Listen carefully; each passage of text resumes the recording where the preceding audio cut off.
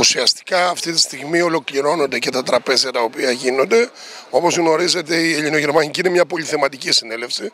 Ασχολήθηκε με πάρα, πάρα πολλά θέματα τα οποία αφορούν τους Δήμους και τις περιφέρειες και της Ελλάδας και της Γερμανίας και μέσα σε αυτό το πλαίσιο ήρθαμε πιο κοντά με τους αυτοδιοικητικούς στη Γερμανία και είναι σε εξέλιξη αρκετές συνεργασίες μεταξύ και Δήμων αλλά και των περιφερειών πάνω σε ζητήματα που αφορούν την καθημερινή λειτουργία των δομών της αυτοδιοίκησης τόσο στην Ελλάδα όσο και στη Γερμανία.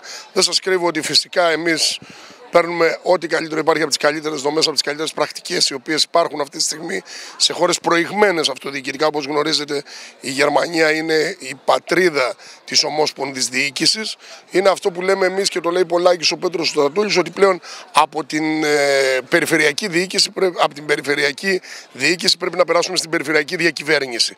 Αυτό είναι ένα από τα ζητήματα τα οποία βάλαμε και κουβεντιάζουμε εδώ προκειμένου να διαμορφώσουμε τους όρους και τις συνθήκες μέσα από τις οποίες θα διεκδικηθεί αυτό από την αυτοδιοίκηση στη χώρα μας.